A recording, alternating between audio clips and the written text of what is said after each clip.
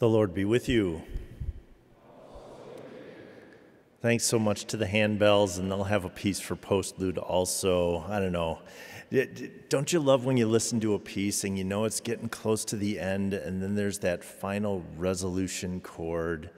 That's where we're at in the in, with Thanksgiving, isn't it? We're waiting for that final chord of resolution, and hopefully that comes today or tomorrow for you, and that you can. Uh, uh, enjoy a break coming up. Uh, just a reminder the angel tree in the back, many, many angels have been taken, but there are still some. So if you'd want to get one and maybe over Thanksgiving you'd have time to, to shop a little bit and bring that back next week, that would be wonderful. It is our old friend Matins who is with us this morning, so uh, we will have that, that comfort, that consistency of God's word washing over us again uh, in, the, in the Liturgy of Matins. So, page 219, front part of the hymnal, we will sing um, hymn 941 for our, te- our Te Deum this morning, and otherwise everything as, uh, as it flows in Matins. So, we'll stand as we worship.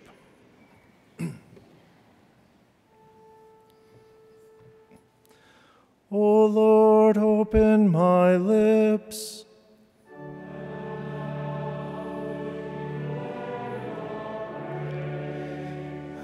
Make haste, O God, to deliver me.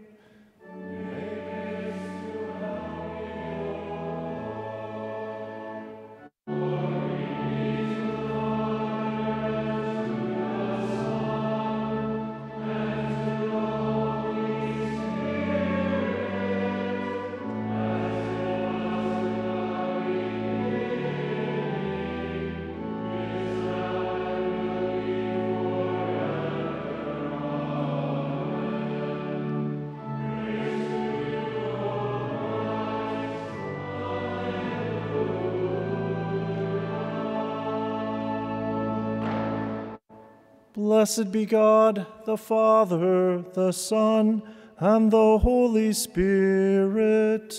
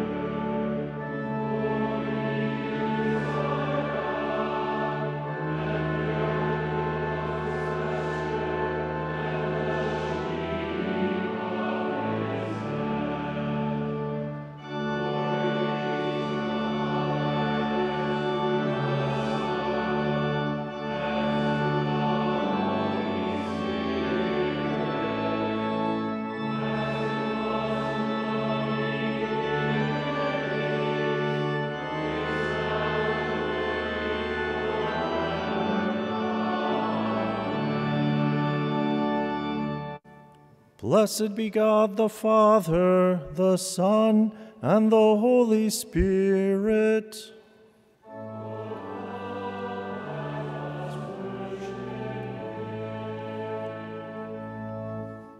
Please be seated for the hymn. The last stanza is a doxology, and we'll stand for that.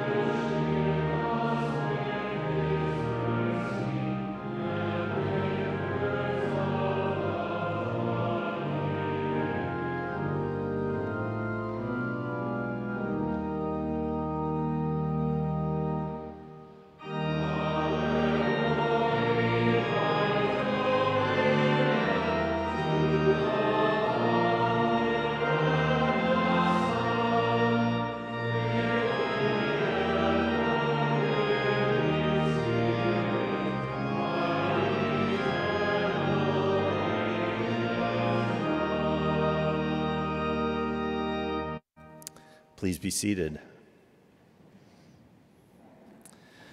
God's word, the epistle reading for this week from 1 Thessalonians chapter 5.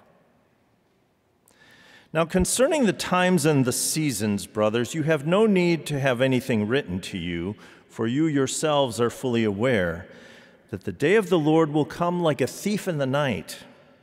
While people are saying, There is peace and security, then sudden destruction will come upon them, as labor pains come upon a pregnant woman, woman and they will not escape. But you are not in darkness, brothers, for that day to surprise you like a thief. For you are all children of light, children of the day. We are not of the night or of darkness. So then, let us not sleep as others do, but let us keep awake and be sober. For those who sleep, sleep at night, and those who get drunk are drunk at night.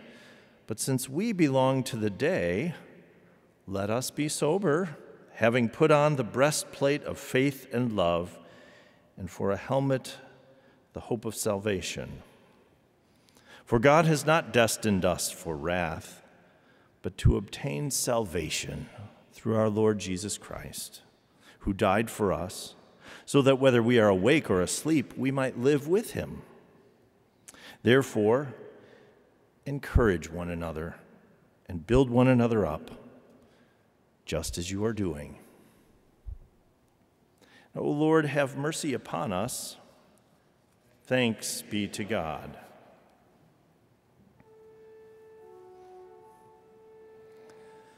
Forever, O Lord, your word is firmly set in the heavens.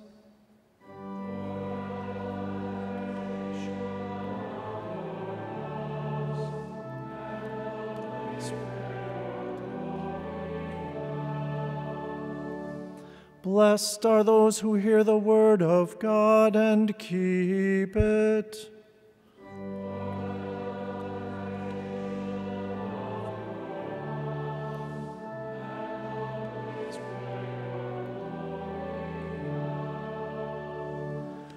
Glory be to the Father and to the Son and to the Holy Spirit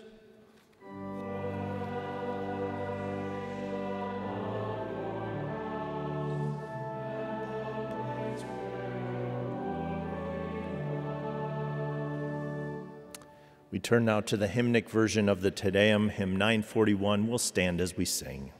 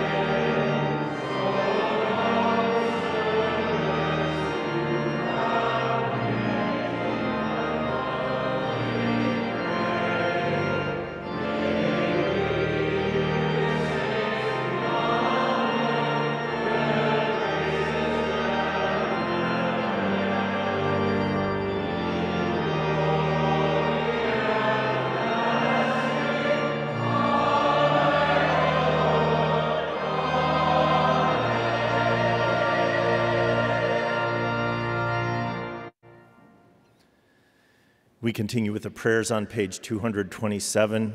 We sing together the Kyrie, the call for God's mercy as we pray. Following each petition of the prayers we speak, Amen.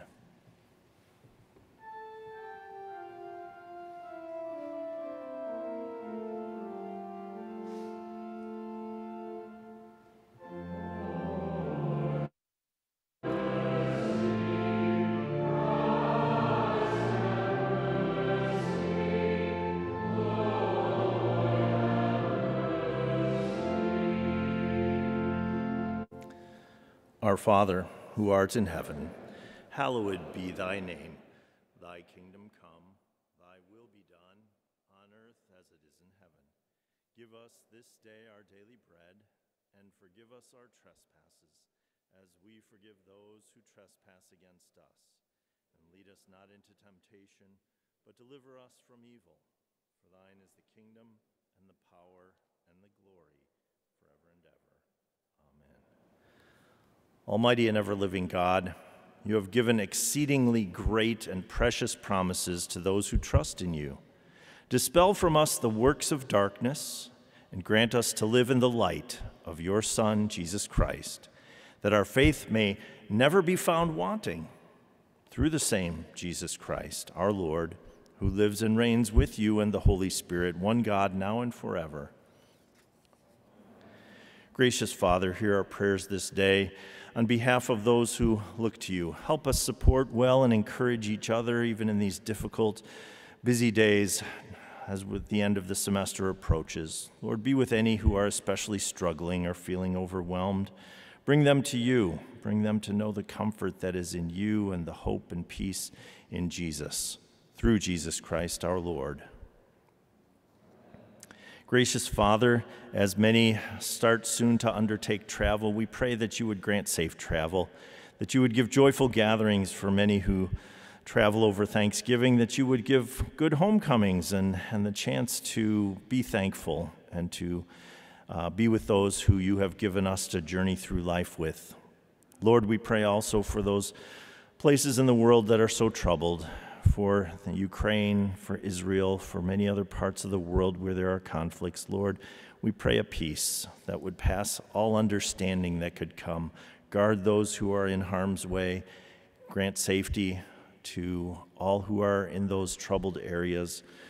Console those who've suffered loss. Heal the injured according to your will, and bring peace at last. Through Jesus Christ our Lord. O Lord, our Heavenly Father, Almighty everlasting God, you've safely brought us to the beginning of this day. Defend us in the same with your mighty power, and grant that this day we fall into no sin, neither run into any kind of danger, but that all our doings, being ordered by your governance, may be righteous in your sight. Through Jesus Christ, your Son, our Lord, who lives and reigns with you and the Holy Spirit, one God, now and forever.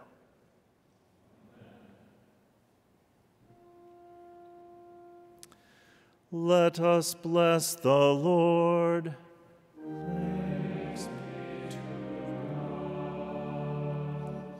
The grace of our Lord Jesus Christ and the love of God and the communion of the Holy Spirit be with you all.